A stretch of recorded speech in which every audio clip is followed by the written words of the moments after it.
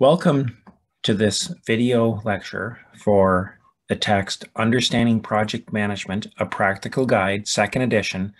And this is chapter eight, Quality Planning. So let's get started on this topic. As usual, we're going to look at our project lifecycle and we remain in the planning phase. And for this video, we are looking at the quality planning process. Now, as a reminder, this planning is done in combination with the other planning. It is not done entirely in isolation. So as you're looking at scope, as you're looking at budget, schedule, team, and the others, you'll also be thinking of building your quality plans as well. They are linked to the others as they're not done in isolation. So just a reminder on that. Now, there are many definitions of quality that that exist. Many organizations have definitions, different definitions, and we all have a personal understanding of quality. If somebody uh, speaks to us and, and says that's a quality car or this is a, a quality restaurant or garment, we we have an understanding what that is. The problem is we may all have different measures, different ideas in our minds as to what those are. Um, it's a it's sort of a personal assessment, and the challenge with um, with projects is that we have a common understanding for a given project or organization. So this course and text is going to use the following definition. To be fit for purpose, every good and service must have the right features to satisfy the customer needs and must be delivered with few failures. And I'm just going to break that definition down for a moment and just comment on why it's being used. One is is that it's customer centric. Notice that the the idea that there needs to be what the customer needs, the right features. Any definition of quality that does not include the customer perspective um, is problematic in that well, we could produce something in the project which is which, which works quite well, but if a customer does not want it, then it's not quality right? And that's that's one of the key features here. And the other is that must be delivered with few failures. So it, there's an there's an idea of reliability that needs to be defined as to what what does few failures mean? What is an acceptable level of, of failure? And that's something that needs to be defined within each project. So key idea, which is this definition that I just mentioned. Uh, another quality uh, pioneer, W. Edwards Deming, emphasized the importance of the improvement of processes rather than an over reliance on quality inspection. So while we do need to inspect, while we do need to, to verify that our, our product or service or result is delivered with few failures, is that Deming was his, his um, one of his ideas was that we should improve processes, is ensure that we that whatever we do is done reliably rather than just relying on checking what's coming out at the end. And that, that's one of the key ideas of quality. Uh, so quality should be designed into the product rather than relying on inspection. So that's something that we should keep in mind.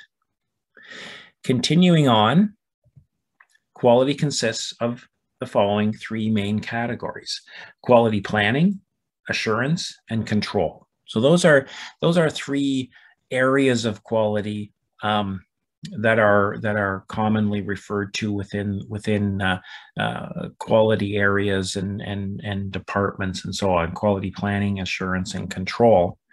This chapter in this video will focus on the first category, quality planning, which takes place early in the project during the planning phase.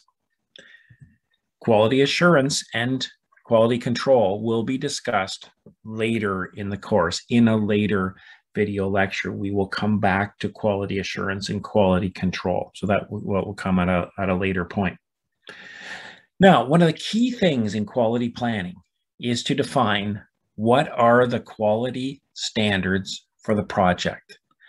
That's the question of, of, of quality planning is to say, what are the standards. Now, question becomes, well, what, are, what do we mean by standards? Well, quality standards consist of the requirements, specifications, or characteristics used to ensure the output of the project meets the desired level of quality.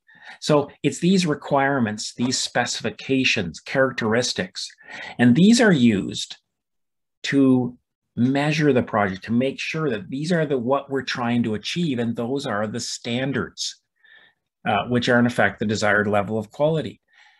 They may be quality standards related to the product service or result of the project and these are documented in the project scope statement. So all of the all of the the the characteristics that we saw in the project scope statement during scope planning all of those all of those um, uh, specifications that were there, characteristics, which came out of the requirements uh, from our from our stakeholders, uh, those are standards that we need to meet. Whatever we define in the project scope statement are, in effect, quality standards as well. So you can see the way scope and quality are very much linked. That what for our scope, whatever we define as the the the, the specifications, those are our standards. So if we say that, you know, if this is a physical product and it needs to be of a, of a, of a certain dimensions, well, those are the standards we need to meet, right? So that's they, those are part of our quality standards. Um, the quality standards of the organization to be followed by the project. So there are things that are outside of the characteristics of the product uh, that we're producing, the product, service, or result but they're quality standards of the organization, of our processes, of how we do things. Um, those are not necessary, they won't be in the project scope statement, but those are documented in the quality management plan. So we document those in the in the quality management plan. Okay, continuing on, now, a key consideration when defining a standard is, well, how will the standard be measured? If we're saying that, for example, what I used before was that, you know, a certain product that we are producing must be of certain dimensions. Well, how are we going to measure that? You know, how do we how do we go about that? And it really comes down to uh, a couple of things. Is there are the idea of metrics and tolerances. And the question becomes how do they improve the measurement of standards? And so that's a key thing. We need to define well, what is a metric and what is a tolerance? Well, a metric is a numerical numerical value. That's a, that's a metric. So when we are defining a standard and the way we measure it is primarily wherever possible, is to define metrics. So if we're saying the dimensions of a product, we can define the metric as to be the number of the, the, the actual number of, of millimeters or or um, you know centimeters or inches that something is. That's a metric the number. Um, and it's surprising how many times when we are defining a standard that we don't define metrics you know, that we say, for example, something a little less. Now, when we're saying the, the dimensions of a product, that's fairly obvious. You know, you say, well, of course you will, um, you know, say the, the, the, size, the, you know, the, the, the width or the length and so on in, in terms of the number of millimeters or centimeters or inches. Um, but there's other standards that, that may be, you know, we, we, we may be tempted to be more subjective. For example, we may say that one of our standards is the um, the the response time when when there are questions when there when there are questions being asked of of the project team. Uh, we may have a standard to say how long until it's responded to and that's a standard. We'll say that we will need to respond in a certain amount of time.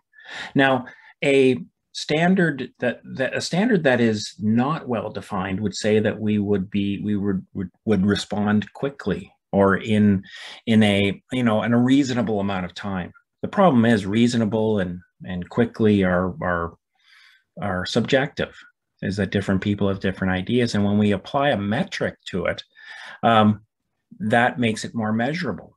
For example, if we say that we will respond within one business day, the metric is one, one day, one business day, you know, or within two hours.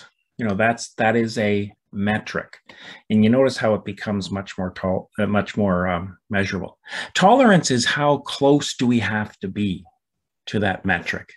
What is? Rem- remember, we said, um, you know, that uh, quality is is few problems or or few errors, um, and so tolerance is how close do we have to be to the to the standard in order to meet the standard? You know for example if our if our uh, measurement of a particular uh, part or product was uh, you know 10 centimeters how close to 10 centimeters? You know is it a you know within one millimeter? Is it within one micromillimeter? You know and so on. How close is the tolerance? And, and that depends on what it is. Uh, if it is for example uh, medical equipment or equipment for a, for a satellite, for example, the tolerance would be very low.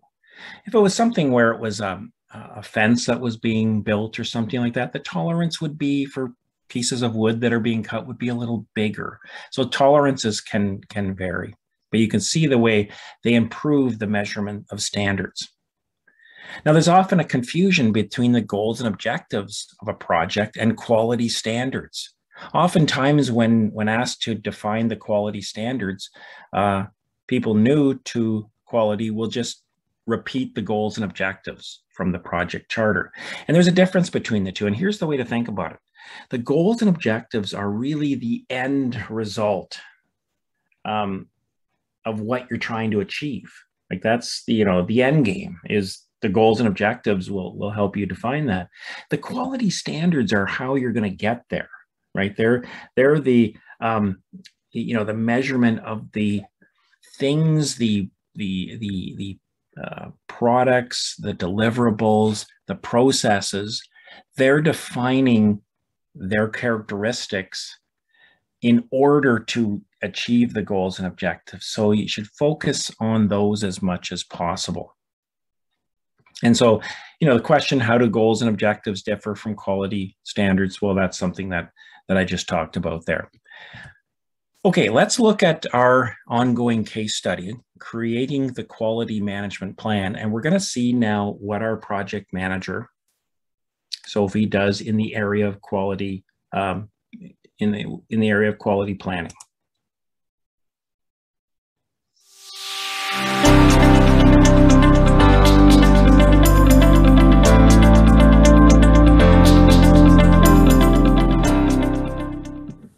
Now that her project team planning is complete, Sophie turns her attention to the next element of the plan, project quality. She starts by asking herself a simple question. How will quality be achieved for this project? She sets out to list the features that will set the project apart and help ensure that it is a quality project. Given the creation of graphics and videos, there is a fair amount of technology involved. Sophie knows that technology failures tend to reflect on the overall project quality, even if they are minor. So she begins by writing technical standards on a sheet of paper. Next, she considers the amount of written text that will be produced, such as the press release, holographic cards, mural, and updates to the website. Since even a single spelling or grammatical error reduces the perception of quality, she writes writing standards as another subheading on the sheet. Sophie knows that social media will be used significantly during the product launch. This is something that can be of great benefit to the project, but can also be detrimental if mistakes are made. She adds social media standards to the sheet. She also understands how important communication is to the success and quality of the project. She writes communication standards as the last subheading. For each subheading, she starts to list the standards that should be met for the project. In some cases, the standards are defined by the DECO Productions organization, while the others are standards defined for this project. Next, Sophie considers the quality assurance activities for the project. She plans to hold bi-weekly quality audit meetings to review and improve the ongoing processes of the project. She also plans to promote an environment of continuous improvement within the project. A comprehensive test plan will also be developed to ensure that all the deliverables meet the project's standards. She decides that inspection will be the primary method of quality control for the project. Each deliverable produced will be verified using the comprehensive test plan. Finally, Sophie considers the quality-related roles for the project. As the project manager, she will ensure that all aspects of the quality management plan are completed. FattyJet will be accountable for creating the comprehensive test plan and will be accountable for the quality control activities.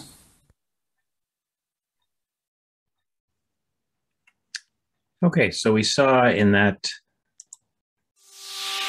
in that uh, instance, we saw work taking place on a document. Now, this is a new planning document that we're seeing now, the quality management plan. So we saw lots of activity and thought going on there. And just to debrief, uh, it contains the quality standards for the project. Now, you notice that Sophie was dividing them into categories, in, into groupings, and that can vary by, by project. For example, uh, based on the types of standards that would be developed, that she, she was developing, she had a technical standards area, writing standards, uh, social media standards, and project communication standards. Um, and as was mentioned in the video, video sometimes those are uh, defined by the organization and, and are inherited into the project. And sometimes there are new standards that are unique to the to the project. So so not all of the standards defined for the for the project need to be developed from first principles. Oftentimes organization there's there's many standards that are just part of being in an organization perhaps many of the technical standards and many of the communication standard all of the standards. There's there is a base of the organization. And then there's there's perhaps additional um, standards that are unique to that project's uh, um, outputs. There is the quality assurance activities to be performed, and they were mentioned uh, on the um, on the video in terms of things that would be done during the project uh, in, in order to ensure that there are quality processes in place to ensure the effective uh, delivery of, of quality output. And, and this goes back to, um, you know, we, we talked about uh, Deming and, you know, focus on the process as opposed to verification of the output. And this is really speaking to that of, of saying, well, what are we doing? What, what are we putting in place in order to ensure an effective output? So that's something that is included the quality control activities to be performed. And so there is um, consideration of that in the quality management plan and the roles that are related to quality for the project is that who's going to be involved. These can be um, uh, project team members may be taking on these roles. Often organizations have quality assurance or quality control departments and so on that may be involved in taking on some of these roles for the project. So that can vary by project and by organization. Uh, you should take a look at the quality management plan that was created for the case study project. That's in the textbook in, in chapter eight. So overall key idea, quality plan planning results in the creation of the quality management plan, which describes the quality standards, the approach to quality assurance and quality control, and the quality related roles for the project. So that's something that should all be considered during quality planning. As usual, some key terminology for, for, this, uh, for this video, new terms that were, that were defined, metric, quality, quality assurance, quality control. Uh, and again, see the key terminology in section, section in chapter eight for a complete list of terms as well as the definitions. So that wraps up our, our discussion of quality planning for this, for this video lecture.